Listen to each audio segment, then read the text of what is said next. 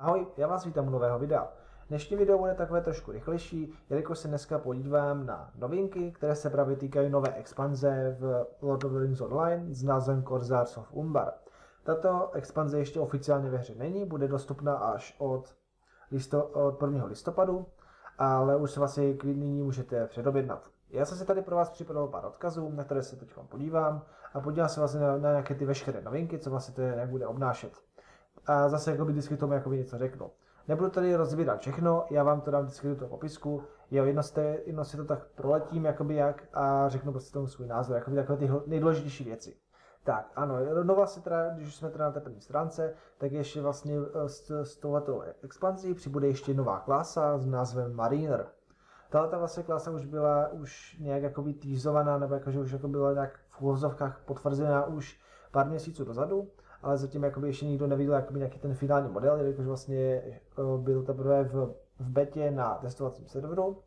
Plus teda přibude teda nová obrovská jakoby nějaká ta lokace s názvem Umbar. A samozřejmě s tím mají noví nepřátelé, jako například lvy, po případě i aligátoři. Vlastně v to vlastně eh, vám ještě do popisku vám ještě hodím i trailer, na, tady, na vlastně jakoby na tu, jak to vlastně bude vypadat. Vypadá to vlastně podobně pokud se vlastně jste dostali do Gondoru, vlastně okolo města do Amort, tak vlastně teoreticky to bude jako vypadat jako nějak podobněji, jakoby stylizované, jako ta krajina, ale samozřejmě jsou tady jakoby i samozřejmě eh,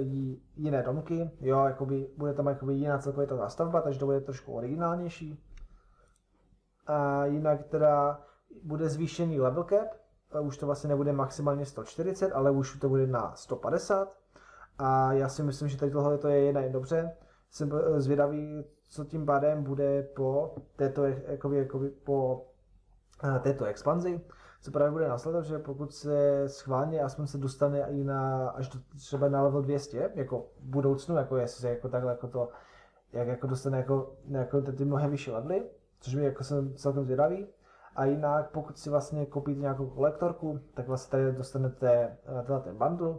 kdy vlastně jakoby máte asi nějaký steed, jo, prostě jakoby koně, eh, nějakého, nějakého peta a, a, pak, a samozřejmě máte nějaký, nějaký ten kosmetický, jakoby ten, prostě nějaký ten oblek, že auru na zbraň, nebo v případě jakoby třeba nějaký třeba uh, speciálně jako třeba zbraň, jakožto kosmetický vizuál, jako chápete mi, jak to myslím, jo, jako já to nevím, jak tak jednoduše popsat. A jinak zase přes 350 těch uh, unikátních questů, tak to je prakticky, no skoro jakoby téměř každá ta expanze, ta větší. Tak, přesuneme se na další, to jsou vlastně ty eh, často kladené otázky. Tak bude to vlastně o tom, že tady vlastně máte nějaké to srovnání vlastně, eh, ne srovnání, jako, že tady máte nějaké ty klas, často kladené otázky vlastně s tím, jak to bude fungovat. Tady tohle to vlastně moc číst nebudu, bude to vlastně jenom to, že základní vlastně ta edice si, si vlastně můžete koupit za Lotro Pointy až,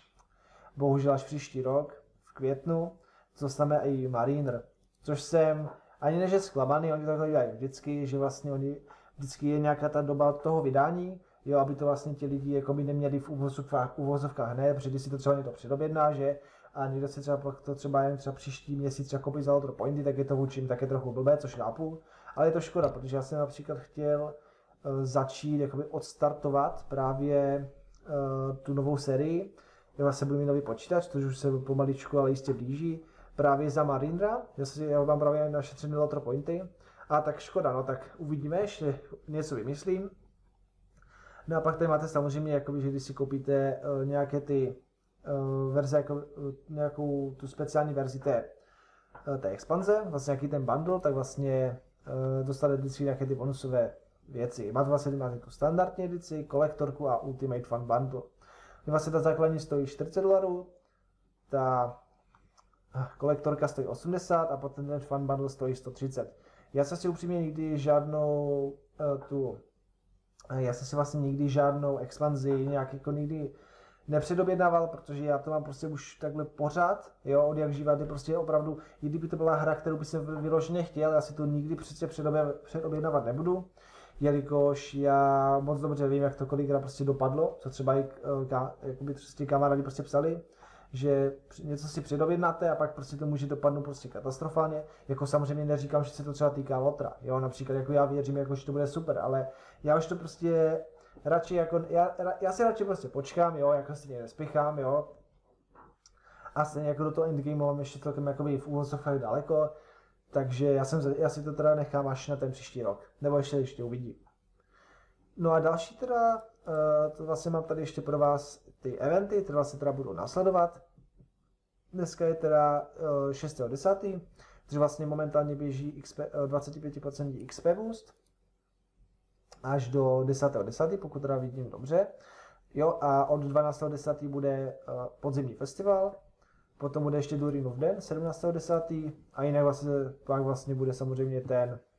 ty, ty vánoční eventy a tak dále. Jo, takže jakoby to prakticky bude takové zase jakoby, prakticky jakoby jak každý rok. Zase vám všechny tady tyhle ty odkazy, také ty důležité vám hodím do popisku, anebo rovnou si vlastně můžete najít na stránky Lotra, tam to vlastně budete mít. No a teď jsou teda tady ty release notes, které jsem se vlastně chtěl podívat jako první, ale nechal jsem si to schválně až nakonec, kdy teda, uh, je teda, jak se teda říkal, si teda tu můžete předobjednat, jo, a bude teda dostupná toho 1. listopadu. A bude to teda vlastně, že teda, bude teda nová klasa, Explore the Shores of Umbar, vlastně ano, bude to vlastně eh, ta nové regiony, ale takový celkově ta obrovská lokace Umbar. Jo, já zatím teda jakoby nevím přesně názvy těch regionů, to se třeba pak můžu udělat třeba i o tom nějaké to samostatné video. Uh, zase noví nepřátelé, jasně. To jsou, a to vlastně jo, jo, a teda ten level cap. Potom je teda tady samostatně, je tady teda klasa Mariner. Tady o tom uh, nebudu moc tak jako nějak mluvit, jelikož já ho ještě nemám, ale až si ho zahraju, jako až ho třeba prostě si ho někdy v budoucnu koupím, tak bych chtěl určitě udělat nějaké video, jelikož tahle ta klasa mě, co se si teda takhle pro, jako pročet, a i na Lotroviky, tak tahle ta klasa opravdu stojí za to, jelikož vlastně je to něco na způsob Vardena, kdy zase vlastně on jakoby si nějak bude jakoby v úvozovkách jakoby nějakým způsobem jakoby nějak eh, stavět ty, jako ty spely a bude jakoby získávat eh, jakoby nějaký ten balans, pokud se teda správně prostě pochopil. Ano, eh, tady vlastně tady to vidíte, kdy vlastně on na, na základě toho, jaké spely vlastně bude používat, tak vlastně tím se vlastně bude zvýšovat jakoby určité jakoby nějaké buď, chcete teda pochopit stranu nějaké ty procenta na ty, eh, na ty uh, dané ability, že tři, když třeba bude používat třeba, uh, neustále třeba uh, damage útoky, jako v tom souboji, tak vlastně se mu jako bude zvyšovat jakoby nějaké ty bonusy potom na ten damage, co jsem to teda já teda pochopil teda správně.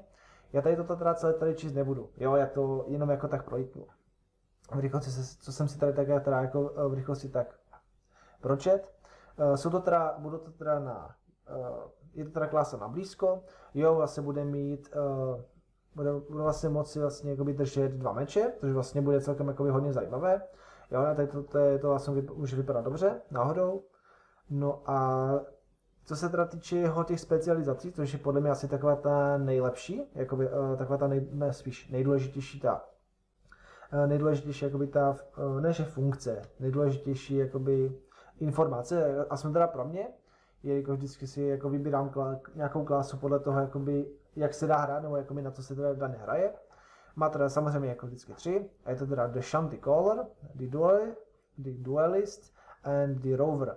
Eh, Shanty Caller je healer, kde vlastně on je to, bude to hlavně, eh, tady vlastně tady tato role bude specializovaná hlavně na, eh, když vlastně budete hrát ve více lidech, jelikož vlastně on bude dávat jaké ty bonusy, co se týče například různých těch písní, jo, různých prostě buffů těch spojenců, znáte to HPčka, damage, po případě jako nějaké defensivní staty. Eh, dále je tady vlastně duelist, což je vlastně flexible melee fighter, takže vlastně bude jakoby doslova maximalizovat svůj damage, který vlastně on vlastně bude rozdávat. No a bude mít uh, Jo, že vlastně jakoby on obětuje vyloženě jakoby ten group support potenciál v tom, kdy vlastně on si najde jakoby že vlastně jakoby teda ta klasa je vyloženě čistě hraní na solo, jo, vlastně většina těch uh, těch traitů, co jsou vlastně jakoby v červeném, jo, když to vezmu takhle, to jsou hlavně ten damage, takže vlastně on jakoby, co se týče toho, on jakoby obětuje, pokud jsem to teda já teda pochopil teda správně, jaký ten vyložený potenciál na to, uh, supportí tu skupinu, jako nějak jakoby, jako healováním a tak dále, ale bude spíš uh, doslova